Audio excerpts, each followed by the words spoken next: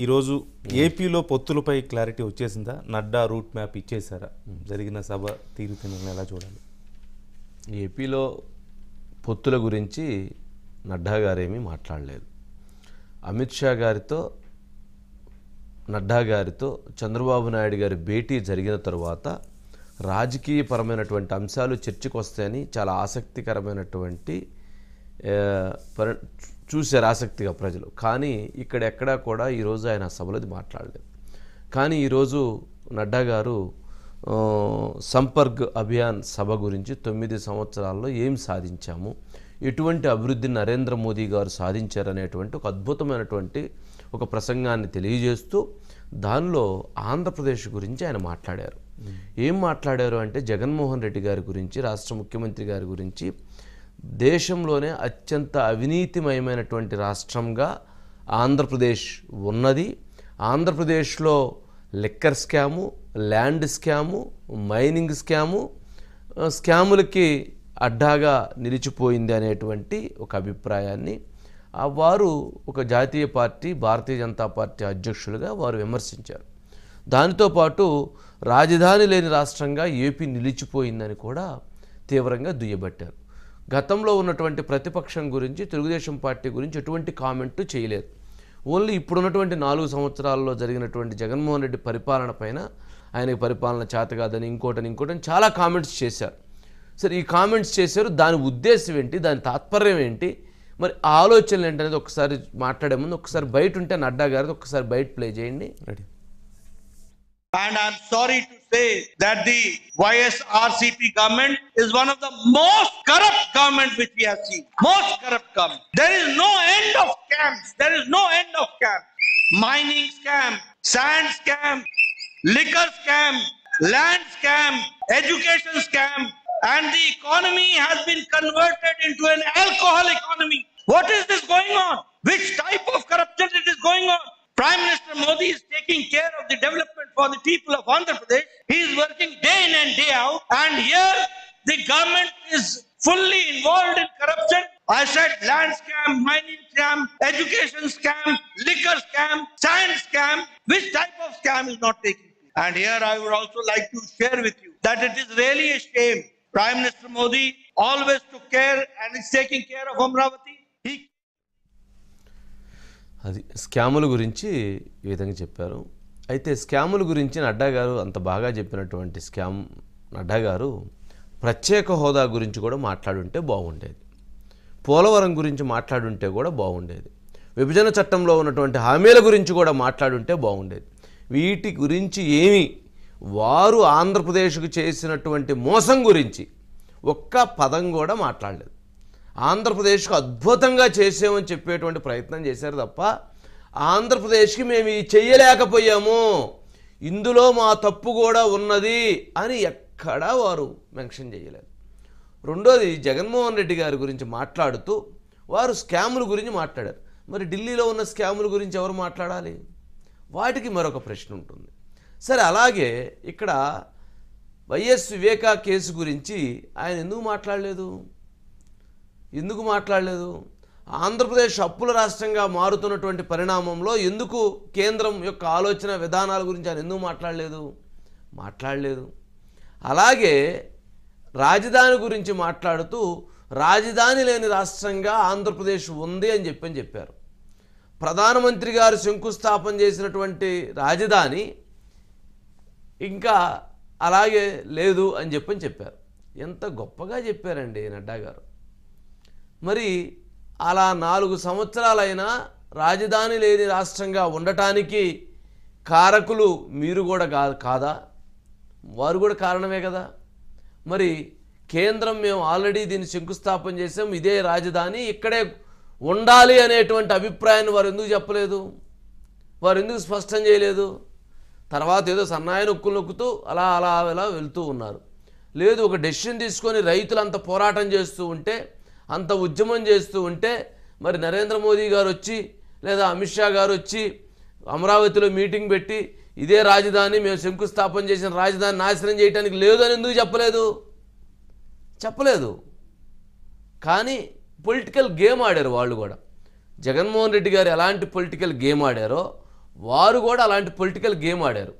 కానీ ఇక్కడ ఏంటంటే ఊరకు అవినీతి గురించి మాట్లాడారు తప్ప వాస్తవ రూపాలని వాస్తవమైనటువంటి అంశాల గురించి వారు నిజం చెప్పలేకపోయారు. తమలపాకుతో జగన్మోహన్ రెడ్డి గారిని కొట్టేటువంటి ప్రయత్నం చేశారు. నడ్డా గారు ఢిల్లీ నుంచి పెద్ద తమలపాకు తెచ్చారు. జమ్మూ కాశ్మీర్లో బాగా తమలపాకులు ఉంటాయట. ఆ తమలపాకు తీసుకొచ్చి చక్కగా చక్కగా జగన్మోహన్ రెడ్డి గారిని తమలపాకుతో టఫీ మైనింగ్ స్కామ్ టఫీ లిక్కర్ స్కామ్ టఫీ శాండ్ స్కామ్ టఫీ ఎడ్యుకేషన్ స్కామ్ ఇలా కొట్టారు. మరి ఆ తమలపాకుతో జగన్మోహన్ రెడ్డి గారిని కొడితే ఏమైద్ది? గురిగింజంట దాని కింద ఉన్న నలుపును చూసుకోకుండా మాట్లాడుతుండిద్దంట. అలాగే భారతీయ జనతా పార్టీ ఆంధ్రప్రదేశ్ రాష్ట్రానికి చేయాల్సినటువంటి అంశాలు చాలా ఉన్నవి. అవి చెయ్యలేదు అని ప్రజానీకం తీవ్రమైనటువంటి ఆగ్రహంతో ఉన్న నేపథ్యంలో వాటికి సంబంధించినటువంటి అంశాన్ని కూడా వాళ్ళు వ్యక్తం చేసి అలాగే జగన్మోహన్ రెడ్డి గారిని విమర్శించి చంద్రబాబు నాయుడు గారిని విమర్శిస్తే న్యాయబద్ధంగా ధర్మబద్ధంగా ప్రజలకు వాస్తవాన్ని తెలియజేసిన విధంగా ఉండేది. ఆ విధంగా ఉండలేదు అని అంటే వీరు వారు వారికి ఉన్నటువంటి వారు చేసినటువంటి తప్పులని వారు చేసినటువంటి పొరపాట్లని వారు ఇచ్చినటువంటి హామీలని వారు చెప్పినటువంటి వాగ్దానాలని అమలు చేయనటువంటి అంశాలను వాళ్ళు ప్రస్తావించకుండా అలా వదిలేశారు. ఇక ఎవరైతే డయాస్ మీద అంటే భారతీయ జనతా పార్టీ ముఖ్యమైనటువంటి నేతలందరూ కూడా డయాస్ మీద పాల్గొన్నారు. ఎవరైతే కోలా ఆనంద్ శ్రీకాళహస్తికి సంబంధించి గతంలో కంటెస్ట్ చేశాడు భాజపాలో సీనియర్ లీడరు అతను అక్కడ పీపుల్ ప్రజలను మొబిలైజ్ చేశాడు. అక్కడ అంతవరకు ప్రజలు రావటం జరిగింది. ఒక రకంగా ఏంటంటే డయాస్ మీద కూడా ఎక్కువ మందే ఉన్నారు. డయాస్ కింద కూడా ఎక్కువే ఉన్నారు కానీ డయాస్ మీద కూడా ఎక్కువ మందే ఉన్నారు.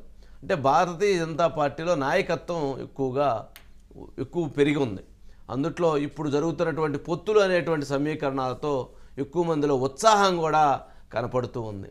సరే ఈ అంశాలన్నీ ఇవన్నీ రకరకాలుగా ఉంటాయి. సరే ఇంకొక అంశం దీంట్లో ఒకటి దాగి ఉంది. అదేంటంటే భవిష్యత్తు అంటే పొలిటికల్గా తాము ఏ స్టాండ్ తీసుకోబోతున్నాము అనేది స్పష్టంగా చెప్పకపోయినప్పటికీ అస్పష్టంగా గతంలో చేయనటువంటి ఒక విమర్శలను అవినీతి విమర్శలను చేసేటువంటి ప్రయత్నం చేశారు. గతంలో కూడా మరి అమిత్ షా గారు కానీ లేదా మోదీ గారు కానీ రెండు వేల పంతొమ్మిది ఎన్నికలకు ముందు పోలవరం ఏటీఎం మిషన్ అయిపోయింది ఆంధ్రప్రదేశ్ అవినీతిమయం అయిపోయింది చంద్రబాబు నాయుడు గారి ప్రభుత్వం అని చెప్పని గతంలో కూడా నరేంద్ర మోదీ గారు కూడా విమర్శించారు. మరి అలా విమర్శించినటువంటి పరిస్థితులు మరలా ఇప్పుడు మారినాయి. మరలా జగన్మోహన్ రెడ్డి గారితో ప్రయాణం ఇప్పటికీ బాగానే ఉంది. జగన్మోహన్ రెడ్డి గారితో ఎక్కడా కూడా వాళ్ళ రాజకీయ అవసరాల దృష్ట్యా దేశ రాజకీయ అవసరాల దృష్ట్యా సౌత్ ఇండియాలో రాజకీయ అవసరాల దృష్ట్యా చంద్రబాబు నాయుడు గారితో ట్రావెల్ చేద్దామని భావిస్తున్నారేమో కానీ కానీ ఇంటర్నల్గా జగన్మోహన్ రెడ్డి గారికి బీజేపీ చేస్తున్నటువంటి సహకారం బీజేపీ అందిస్తున్నటువంటి ప్రేమ బీజేపీ అందిస్తున్నటువంటి ఆర్థిక సహాయం బీజేపీ తో కేసులకు సంబంధించి అందిస్తున్నటువంటి తోడ్పాటు ఇవన్నీ నిజంగా ఎవ్వరూ కూడా ఎవ్వరూ కూడా అంతటి సహకారాన్ని అందించరు. అంటే బీజే జగన్మోహన్ రెడ్డి గారంటే బీజేపీకి అంతటి ప్రేమ అంతటి ఆప్యాయత. మరి అవన్నీ ఉన్నాకప్పటికీ రాజకీయ అవసరాల దృష్ట్యా తమలపాగుతోటి కొట్టే ప్రయత్నం చేశారు తప్ప ఎక్కడ వారు వాస్తవాల దిశగా జరుగుతున్నటువంటి పరిణామాల దిశగా వారి లోపాలు కానీ జగన్మోహన్ రెడ్డి లోపాలు కానీ టీడీపీ లోపాలను కానీ ప్రజలకి స్పష్టంగా చెప్పలేని పరిస్థితి ప్రజలు కోరుకుంటున్నటువంటిది కూడా చెప్పలేనటువంటి పరిస్థితి. కానీ తొమ్మిది సంవత్సరాలు నరేంద్ర మోదీ గారి పరిపాలన గురించి వారు చేసినటువంటి దేశంలో సాధించినటువంటి ప్రగతి గురించి వారి అభివృద్ధి గురించి అంతవరకు వారు చక్కగా వివరించేటువంటి ప్రయత్నాన్ని చేశారు. దాంట్లో నడ్డా గారు ఎక్కడ ఆ స్పీచ్ని అందజేశారు. సరే అందుట్లో ఎన్ని వాస్తవాలు ఉన్నాయి ఎన్ని అవాస్తవాలు ఉన్నాయి సరే ఎన్ని విమర్శలు ఉన్నాయి అవన్నీ ఇప్పుడు ఉంటాయి. కానీ అంతవరకు ఒక సబ్జెక్టు ఇంతవరకు ఒక సబ్జెక్టు. ఇది ఇక రైట్ దీనికి. మురళి అన్నారు అవునా? Yeah. Murali. Good evening sir yeah good evening good evening Murali. సరేలే మురళి. ఏంటి నడ్డా గారి స్పీచ్? Sir yeah. ఏమో సార్ భారతీయ జనతా పార్టీ వాళ్ళు ఆంధ్రప్రదేశ్ మీద మరొకసారి సవితల్లి ప్రేమ చూపించారు. ఓకే. అంటే మీరు చెప్పినట్టుగానే వైఎస్ఆర్ జగన్మోహన్ రెడ్డి ప్రభుత్వం పైన పెద్ద ఎత్తున విమర్శలు చేసామని చెప్పి వాళ్ళు చెప్పుకోవటానికి మాత్రమే ఇది ఉపయోగపడుతుందండి. కానీ నిజంగా కూడా జరి చేసినటువంటి విమర్శల్లో ప్రతి అంశంలో కూడా వాళ్ళ పాత్ర కూడా ఉందండి ఎంతో కొంత. పరోక్షంగా ఉన్నాయి ప్రత్యక్షంగా కూడా ఉంది ఒక అమరావతి తీసుకుంటే రాజధాని లేని రాష్ట్రం చేశారని చెప్తున్నారు. కానీ ఆ చేయటంలో వీళ్ళ పాత్ర ఎంతో ఉందండి. కానీ ఇక్కడ ఉన్నటువంటి రాష్ట్ర okay right right right right right right Murali. Right Murali right right right. Right next. ఇక సింహపురిలో లోకేష్ ఎంట్రీ మారుతున్న నెల్లూరు